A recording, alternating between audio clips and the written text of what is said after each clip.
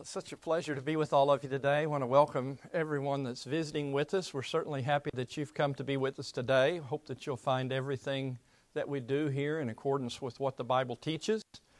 Uh, in the lesson of the hour, we'd like to talk about some more uh, uh, another quality that we need to personally develop ourselves as Christians and to be successful in life of uh, serving the Lord and having a, a, a good uh, personal uh, life as well, and that is the quality of forgiveness.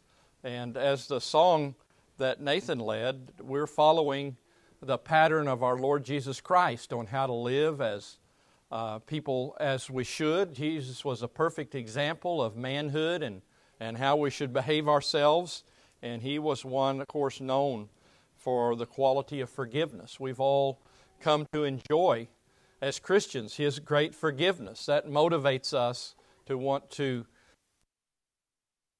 have a duty since we've been forgiven of so many sins and uh, fallen so short in our relationship to God that we have a duty to pass on this mercy and compassion and forgiving attitude towards other people. And it is something that helps us have a liberating principle working in our life. Um, was a sister that uh, had had uh, reason to have uh, a broken relationship with another woman in the church, and uh, the woman came back and wanted to be forgiven and restored to fellowship and receive uh, mercy and forgiveness. And the woman that was went up to her afterwards and told how happy she was she'd come back to church and said, Now I feel free. that uh, there is a freedom in forgiving people and being able to enter in again to a good relationship with someone. Uh, as long as forgiveness isn't there, it is a, kind of a personal prison that you're in. So there is a, certainly a great quality for ourselves in forgiving. It's a blessing to us to do what God tells us to do. All of His laws are given to us for our benefit because they're good for us. And the idea of forgiving other people is good for us. it is a quality that we need to have. We're told in Genesis 41 and verses 51 Joseph had been, of course, sold into the land of Egypt. And uh, he'd been falsely accused in the house of Potiphar and put in jail and had been through many afflictions and a lot of things he could have had bitterness and uh, ill will about. But we're told that uh, of course, God raised him up there in the land of Egypt. He had a wife, and then he had some children. And the statement is made that Joseph named the firstborn Manasseh, for he said, God has made me forget all my troubles and all my father's household. So he'd forgotten and able to let go of all of that abuse and envy and slavery and lustful conniving that he had had in the past. And it is freeing thing to forget those things and move on and be able to forgive. He had a forgiving spirit, and we see that exercised in the book.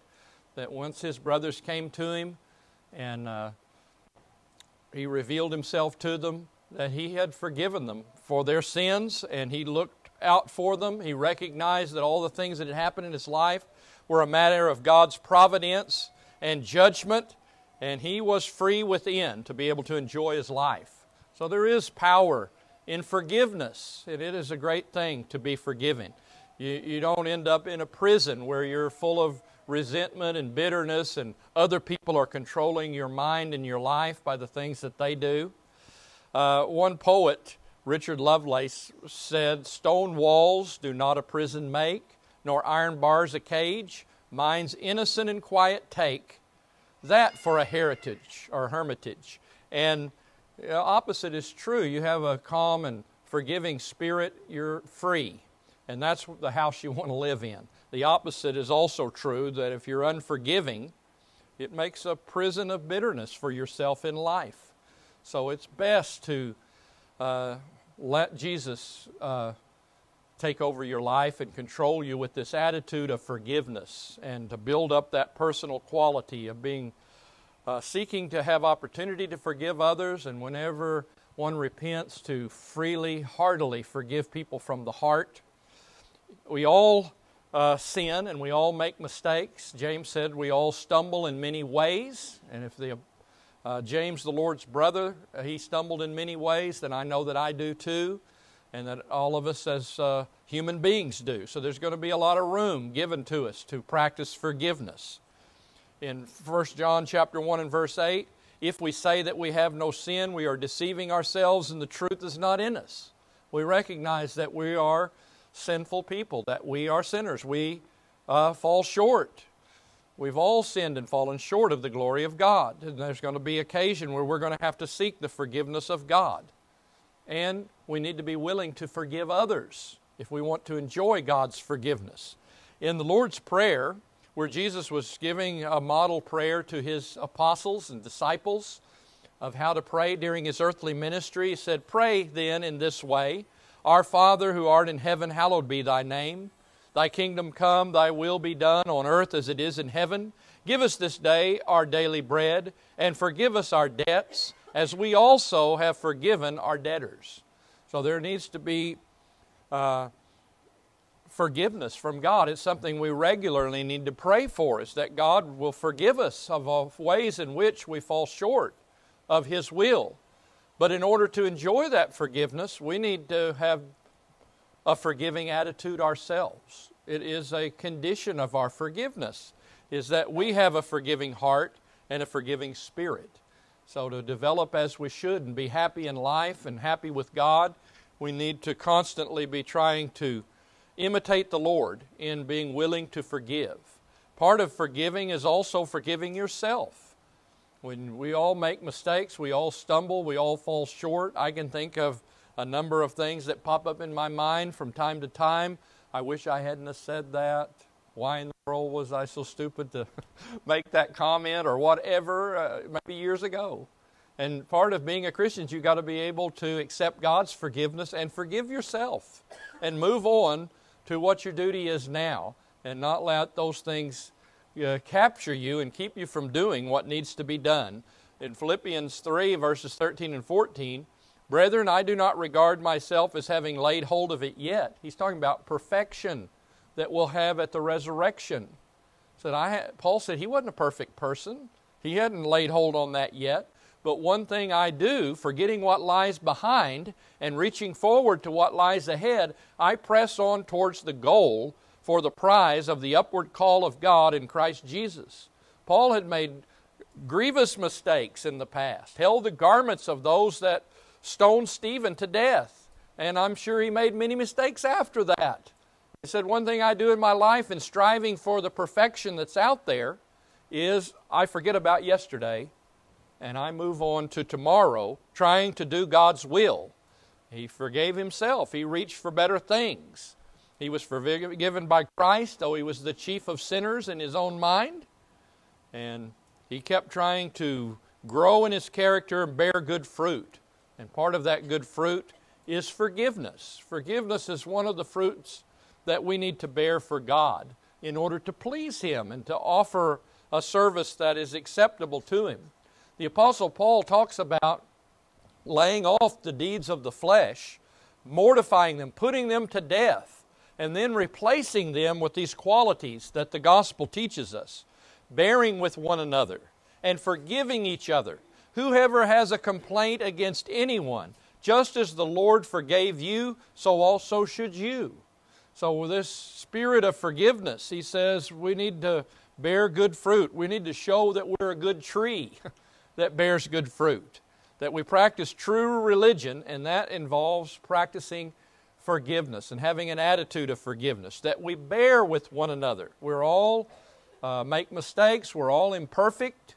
We all do things that are annoying sometimes. We commit sins of omission towards one another where we leave things undone and so on. But we need to be forbearing, holding, enduring, with a forgiving spirit one another if we're going to keep unity in the church because we are all flawed people that are still trying to grow to be exactly like Jesus Christ. Forgiving, it means pardoning, to be gracious towards what the Greek dictionary says. Wholeheartedly excusing faults or offenses, to stop feeling anger for or resentment against. So there's the forgiving spirit that we need to practice towards one another in our personal relationships if we want to develop our character as it should be. Whoever has a complaint, the word there means a dissatisfaction, a blame uh, uh, for the errors of omission, things that other people are leaving undone that we think they should have done, different forms of debt in our personal relationships. Let those things go. Forgive as the Lord forgave you. Uh, the Lord, how does He forgive us? Well, He's long suffering toward us. He holds back His anger from us. He treats us kindly and tries to win us over to a change of mind, repentance, so that we lay aside the things we're leaving undone and not doing the right thing. He sent His Son to die for us to provide us with an avenue of forgiveness. That's the forgiving attitude of God. He encouraged us to repent through the teaching of the gospel and all of his kind dealings with us that lead us to repentance. And then when we repented, he freely forgives us of our sins. We should so deal with one another if we're going to imitate the Lord and be pleasing in his sight and be happy people. There is bigness to forgiveness. It shows a, a good character and quality, an excellent nature if you're forgiving. And God wants us to be excellent in the things that we do. One of the things that we show in being willing to forgive and have a forgiving spirit and seeking opportunity to forgive is we show an understanding of the nature of our fellow man. That our people in this world just like us, that they do many things not out of an, out, uh, an actual maliciousness, but out of ignorance, people act toward us. And just like we are often mistaken in many things in our judgments that we make, so are our fellow man. Jesus shows, even at the time of his crucifixion, when they were nailing him to the cross, he was praying that those people might be forgiven. But Jesus was saying, Father, forgive them, for they do not know what they are doing. And they cast lots and divided up his garments among them. He had an understanding that even though they knew they were crucifying this man and they were nailing him there, they didn't really understand who he was and that he was really the Son of God. He was being condemned as a blasphemer, somebody claiming to be Lord in place of Caesar, but he really was the spiritual Lord of everybody. They didn't know that. And the Lord prayed that they might have opportunity to be forgiven. He didn't want the Lord to hold this sin against them and his wrath to be poured out on them. So he prayed for them. He was loving them. He wanted them to have patience, to have an opportunity to seek salvation. So he had a good will toward them. And of course, the Lord answered that prayer, didn't he? There were many people that were involved in that crucifixion that we read about on the day of Pentecost. The same Jesus that you crucified, God has made him both Lord and Christ and people were touched in their hearts, they pierced in their heart, repented, and were baptized and forgiven of their sins that day. So the Lord was praying with a forgiving spirit towards them that we need to imitate in the way we treat each other and our fellow man. It is big to forgive because it involves being merciful, and that is a great quality and an attribute that God has, and as people made in His image that are saved by the Lord's blood we ought to be merciful above all others. In Matthew 18 and verse 27, the Lord of that slave felt compassion and released him and forgave him the debt. You remember this man owed uh, 10,000 talents to the king that he had misappropriated or, or had uh, not managed properly. And he came and fell down and begged the king for forgiveness said, I'll repay it all. I don't know how he was ever going to do it. It was an unpayable sum, but it, it, his plea for forgiveness, the, the king looked down, and he's an illustration of God's forgiveness, and he forgave him the whole debt. And then, of course, we know the man's great uh, wickedness was that he went out to his fellow servant that just owed him a little bit of money, and he was very harsh when he was asked to forgive and had him imprisoned because of that. And uh, the king heard about it and he reversed his decision. He was thrown into jail and was he was going to have to pay the whole amount. And it shows we're forgiven of our sins. God forgives us an unpayable debt of all of the sins we've committed in our lives when we obey the gospel. And many times afterwards, we ask His forgiveness. We have a debt and a duty, if we've been shown such great mercy, to be big of heart and be merciful to others if we want to continue in the grace of God. So, this bigness is also the ability to forget, the ability to treat the person as if these things had not happened and restore our relationship to them. That's the kind of forgiveness that God modeled for us in the gospel. When the New Testament was uh, foretold by Jeremiah, it's quoted in Hebrews 10 and verse 17, and their sins and their lawless deeds I will remember no more. The Lord wipes the slate clean when we obey the gospel. Just like you take a wax tablet in those days that they would write the debts that people owed them at a business, and when you paid off the debt, they just wipe out that wax tablet. God has wiped out our sins, and He remembers that debt against us no more, and He forgives us. And we try to, to model that as well in the way that we treat other people when they repent and they're forgiven in Isaiah 43 and verse 25 I, even I, am the one who wipes out your transgressions for my own sake, and I will not remember your sins. So, more than once, the Lord foretold the forgiveness of this new covenant. It is big, this forgiving heart that we're to have. The bigness of the forgiving person is seen in how numberless the times are that you're willing to forgive those that ask forgiveness and repent. We're told in Matthew chapter 18 and verses 21 and 22 Then Peter came and said to him, Lord, how often shall my brother sin against me and I forgive him? Up to seven times? Peter thought he was offering up a big number there. And Jesus said to him, I do not say to you up to seven times, but up to 70 times seven. So, this forgiveness is something that we need to have in an unlimited uh, manner that we're willing to forgive those that turn again and uh, want to restore a right relationship. The Pharisees placed limits. Christ and Christians, we don't have a limit on this forgiveness. And as often as one repents, we should forgive and live with an attitude of forgiving and seeking forgiveness and not be people filled with bitterness and cursing, but wanting to give a blessing to people instead. It's also seen in helpfulness, this quality of forgiveness.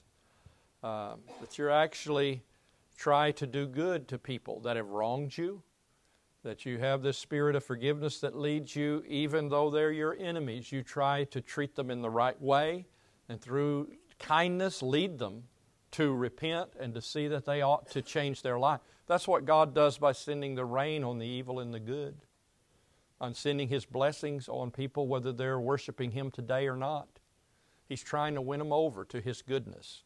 He wants His people to reflect that same thing. We've been studying the word agape in the fruit of the Spirit that goodwill, unconquerable goodwill towards other people. Uh, in Matthew 5 and verse 44, but I say to you, love your enemies and pray for those who persecute you.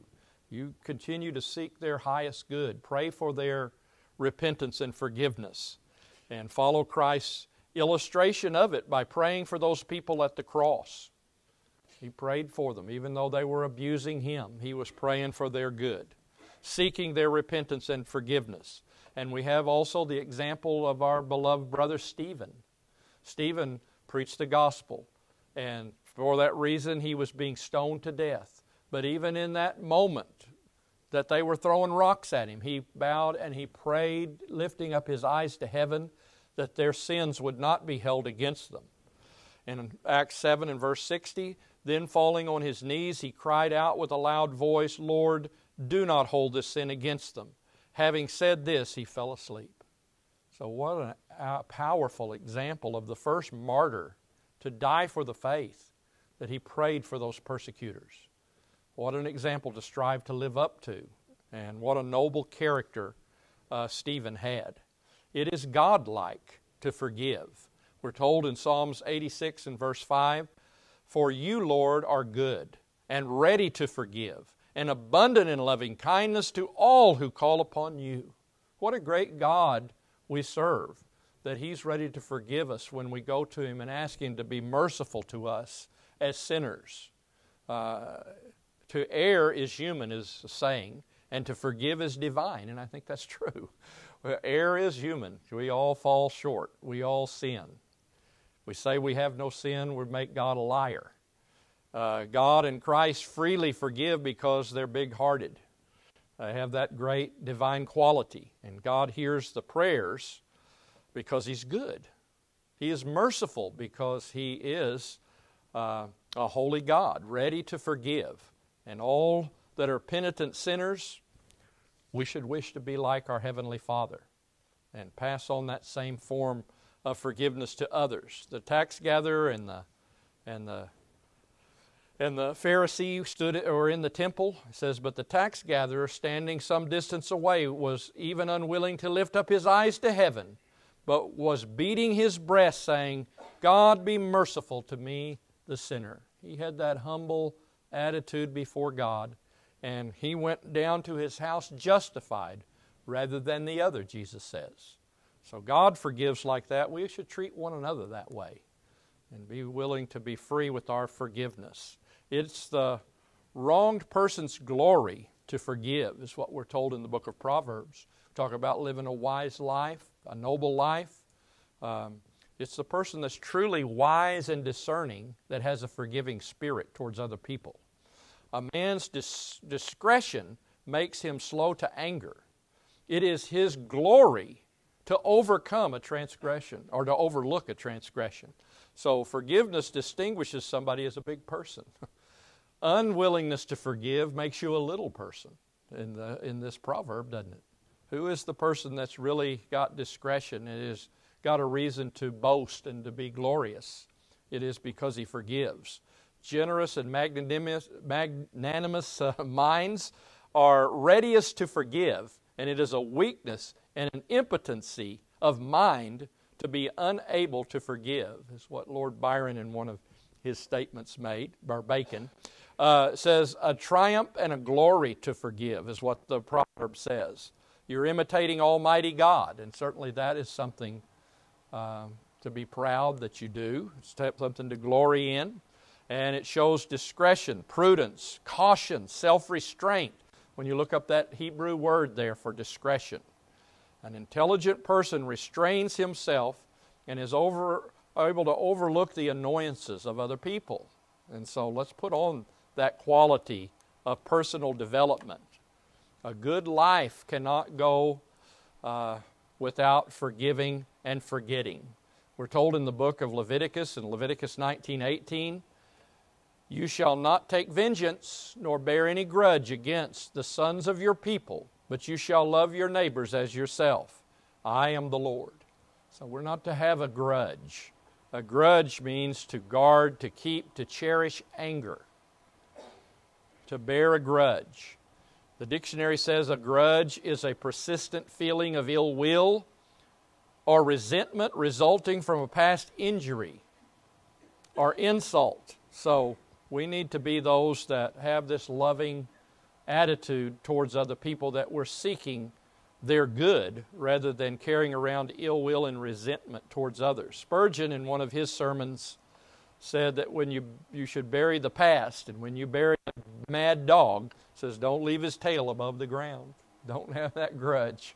Put that out of your mind. Let it go, and start praying for the good of other people. Uh, an awareness of how much I need to forgive. These are some of the motivations to forgive. In Matthew 7 and verse 3, and why do you look at the speck that is in your neighbor or your brother's eye? But do not notice the log that is in your own eye. So, we need to first examine ourselves before we're holding grudges or putting down other people that are around us because of their faults. Think about your own faults first. that motivates you to be kind, to have a forgiving spirit, to seek to be merciful and compassionate to others, and bring them to repentance. So, first look to yourself those guilty of the of wrong find it harder to forgive others guilty of the same wrong a lot of times. In psychology, it's called projection. It's a way of uh, fighting or hiding from your own sins. is that you treat other people that do the same thing. You project your stuff onto them to make yourself feel better. Well, no, why don't you rather see your own sins, repent of them, ask forgiveness, and be merciful and kind towards others that need the same thing? So there's a hum, humility in self examination of our own weaknesses and faults. We know about them more than we know about anybody else's. And Jesus says, first look to the log in your own eye. In Matthew 6 and verse 15, but if you do not forgive men, then your Father who uh, your Father will not forgive your transgressions. Wow, there's a motivation to be forgiving. I want to be forgiven. And if I'm not forgiving, then I won't be forgiven. So there's a motivation to, to pray for this quality, to try to uh, exercise it in every way that we possibly can to imitate God's goodness and mercy and compassion as we're dealing with each other. My forgiveness is conditioned on forgiving. When you have a forgiving spirit and you practice forgiving other people, it is a recognition of humanity's fallibility uh, and goodness and urgency for clemency that we all have. Uh, Robert Baxter, a Puritan preacher and poet back in the 1600s, he said about his life as he looked back over it I see that good men are not as good as I once thought they were, and I find that few men are as bad as their enemies imagine. And that's about true. A lot of times people aren't as good or bad as you might have thought in the past. And that comes with experience and age and living life that you begin to see that that is so. Uh, a meditative stroll through a cemetery is mentioned by one writer when talking about this quality of forgiveness. The poet talks about going to the cemetery and how that helped him to have a more forgiving attitude right now. And sometimes a funeral, when somebody maybe that uh, you hope that before they die you set things right and you don't have a bad thought. But isn't it sad to think about somebody dies and you were out on the outs with them and you could have forgave them and now they're you never get that opportunity.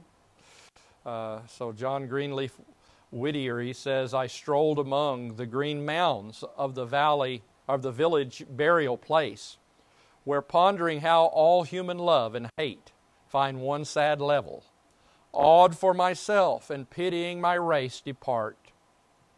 Our common sorrow, like a mighty wave, swept all my pride away, and trembling I forgave. So he thought about that common place we're all going, and it's time to forgive and not hold a grudge. So forgiveness is something that is offered to us by our Heavenly Father, and it is conditional. There needs to be, on the part of anyone turning back to God, we need to repent of our sins. A number of passages talk about uh, our brother. When he repents, forgive him. There needs to be a turning away from the wrong course and turning to the right course. In Luke 17 and verse 3, be on your guard. If your brother sins, rebuke him. And if he repents, forgive him. Let's grant that forgiveness. If you're here today and you've not obeyed the gospel of Christ, we want to encourage you by the love of God, by the sacrifice of Christ, by the gracious offer of mercy in the gospel to reconcile yourself to God. You need to believe in the Lord Jesus Christ with all your heart, that He is both Lord and Christ, that God raised Him from the dead. You need to repent of your sins. Repentance comes from sorrow over sin. It's a change of mind, a renouncing of sin in your heart, and a turning to the right way, to where you bring forth fruit of repentance. And you need to confess Christ that He is Lord, and then you're a proper subject to be baptized into Christ. Buried with Him in baptism into His death, and you can arise from that water by the power of God to walk in newness of life, having your heart and conscience sprinkled clean by the blood of Jesus Christ. If you're here this morning and you've not obeyed the gospel, we want to encourage you to do so. As Christians, we're to walk in the light as He is in the light. If you've stopped walking in the light as you should and stopped making that progress that is right, you need to repent and get back on the right path. We have the promise if we'll confess our sins, the Lord will be faithful to forgive us. If you need to respond to the invitation in any way, we want to encourage you to do so as together we stand and sing.